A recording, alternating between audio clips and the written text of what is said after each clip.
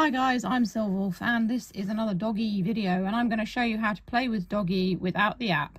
Someone was asking, can you actually play with it without the app? Yes, you can. You don't need the app to enjoy this robot, which is nice considering the fact that, as we know, app-enabled robots will go redundant after a while because they do take the apps down. And once the robot hasn't been on sale for a while, you won't be able to get the app either. So, um, unless of course you've got the APK, but a lot of these APK sites, that's the Android uh, file format for these apps, a lot of these sites are riddled with viruses. So unless you get the APK file and keep it somewhere, you know, for future use, you might get a virus, I don't know.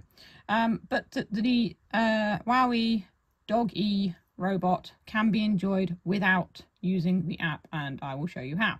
I do have the instructions as well with me so that I can show you those as well um, so you can make your own decision on whether you think it's worth it. I think a lot of these robotic toys that they release these days, uh, they're very highly priced and a lot of people are like, are they really worth it? The majority of uh, reviews on Amazon and stuff are just saying, well, it's, it's too overpriced. You know, is it? It's, it's going to be a five minute wonder and it's very expensive, so. Right, so we've turned him on now. These are the instructions that I'm reading from. Uh, you can play games with him. There's all the different game symbols on his tail. Um, save multiple profiles and all that. And it does say more ways to play in-app at the bottom there. So this is the quick guide. So, to find out what he wants, you press his nose twice and he'll show his name. Oh, he's just pooped. You don't have to do anything when he poops, apparently, according to the app. He, he just poops. Right, so press his nose twice and he says his name. His name, as you can see there, is Gaz. Right, he wants feeding, so how do we feed him? Let's have a look. To feed him, you press his nose.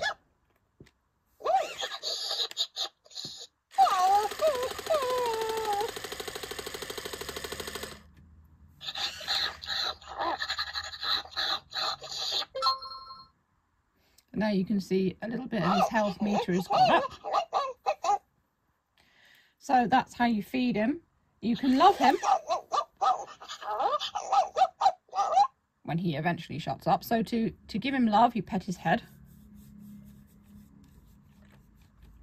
This often, uh, I think my one's got a bit of a funny head sensor because he often doesn't actually register I've petted his head. Kind of, there you go. He's accepted it. The head sense appears to be between the ears. I have tried here as well, but I think it's actually between his ears.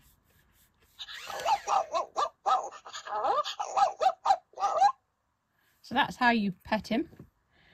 You can play games with him. So to play with his toy, to um, give him his bone. Now the bone is magnetic and it's got this on the end. So you basically put it on his nose that. And he, oh, let go of it. Yes, I know it's gone. There you go.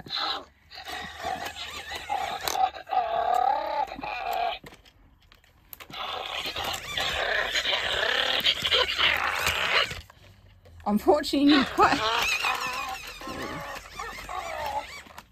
you need quite a lot of space to do this. Come back. He's he's, he's gone.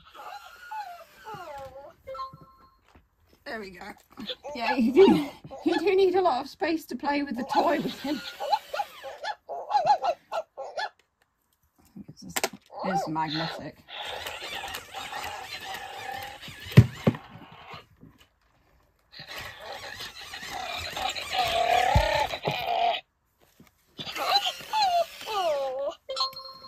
Um, and when he's finished playing with the toy, he will actually uh, acknowledge that he's played with it because his little tail lights light up. His tail lights are actually nearly full, which means that he's happy anyway. I'm just sort of making him happier by doing stuff with him. So that's playing games to check his health. Now, when the light on his chest turns green, that means he's got, like, he's ill. So you can see he's lifted his head there and he's showing off that light. Um, When it turns green and yellow, press his nose or pat his head to make him feel better. Well, obviously he's not ill. Now with the app, you actually, you can check this regularly. And with the app, you can uh, just heal him over, you know, over time in the app. I think the illness meter does go up. So uh, you can just keep an eye on it if you have the app. Like I said in this video, I'm just showing you how to how to play with him without the app. There you go. I think when you when you pet his head, you have to actually sort of like you, you can't do it too gently. You've got to actually make him know that he's uh, he's had his head petted. Okay, because whenever I do it gently, he doesn't register it. But if I do it enough to actually move his head slightly while I'm doing it, um, he seems to register it more. And whether that's the case or not, I don't know. It's just my one. Uh, so you can play games with him. Now, I, I would try to do this without the app, but I will be telling you how to... You're very noisy. Um, I will be telling you how to play the games in the app as well, which is a bit easier. But to play games without the app, you press his ear down, which takes you to the menu. Now you can see his tail there. So to change the game, you can press his left or right side to scroll through the games. So let's have a look. And you press his nose to confirm. There you go. So the first one is fortune teller. And the next one is bark back. The next one is uh what's that one? Stay or go. And then we've got ultimate nose boop. And then we've got uh, turbo pet. And then code breaker. I hope you can see all of those. Yes, you can. Okay, so let's go on to the next one. And that is back to fortune teller. So I'll try and do ultimate nose boop, which I believe is the easiest one.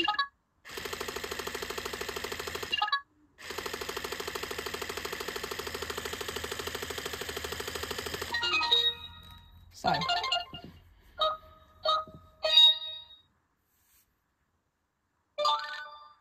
I his nose when the...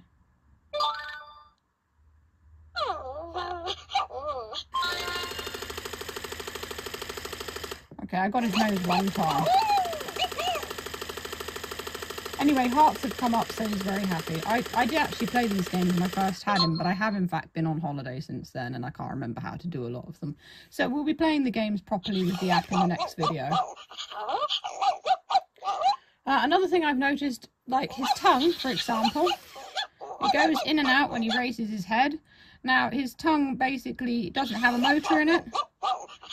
You can just do... Oh, actually, no, it does have a motor in it. Um, when when he was switched off and his head was pointing downwards, the tongue would come out. And then when I sort of moved, I could actually just push the tongue and it would go back in again. So I figured it was something to do with whether his head's up, the tongue's in, and whether his head's down, the tongue's out. And I think it is kind of like that, but he was switched off, so maybe maybe all of his uh, motors had gone lapse or something. But I, I didn't think it had a motor in, but as you can see, it does. So, so he wants to be petted now.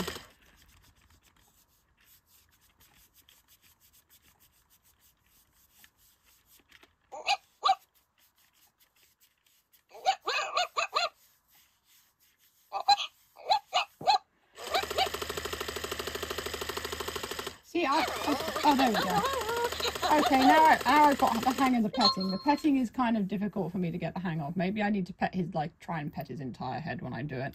That's the only thing I've been having trouble with. Um, because I couldn't figure out whether it's between his ears or on the front of his head. But I think it's like this. Like. Yeah, that's it.